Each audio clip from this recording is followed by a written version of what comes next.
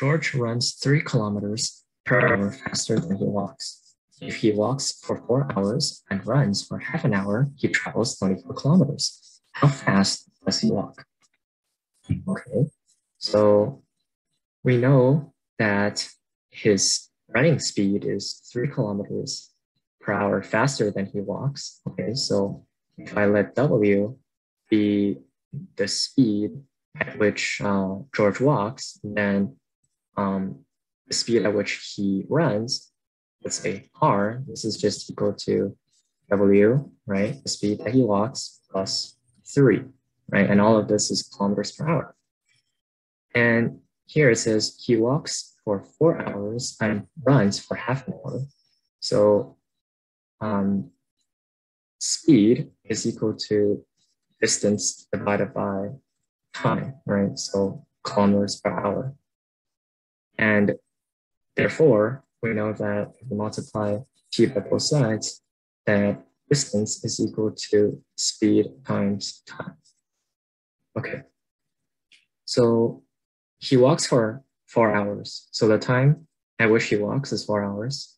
So, and the distance he travels by walking is going to be four hours times his speed, double uh, that he walks.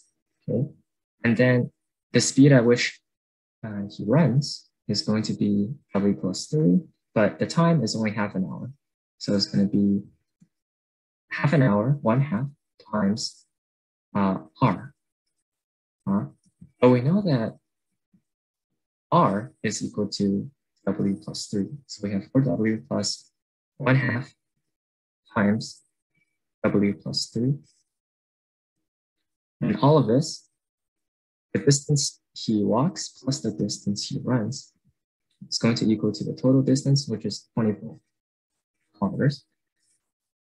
Okay, so this is just equal to 4w plus, in here, we gotta distribute this one half constant into the w as well as the 3. So what we get is that we get 1 half w plus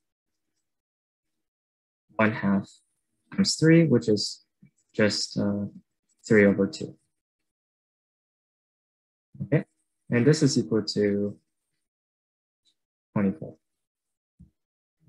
So we should combine like terms. So 4w plus 1 half w, this is a 4.5w, 4 and 1 half w, that's just 9 over 2 w. And then plus 3 over 2. So now uh, we need to move the 3 over 2 to the right side of the equation. So this is equal to 24. So we should subtract 3 halves on both sides of the equation. So these cancel out. So then we get 9 over 2 w is equal to uh, 24 minus 3 halves is going to be, uh, what is this? Minus 1 is 23, minus, so 22.5, which is 45 over 2. Okay. So you see right here, there's denominator two for both of them. So you can actually just multiply two on both sides. And these guys cancel each other out. And you get that 9w is equal to 45. If you divide 9 on both sides, well, 9 times what number gives you 45? Well, w equals to 5. So then we get that w equals to 5.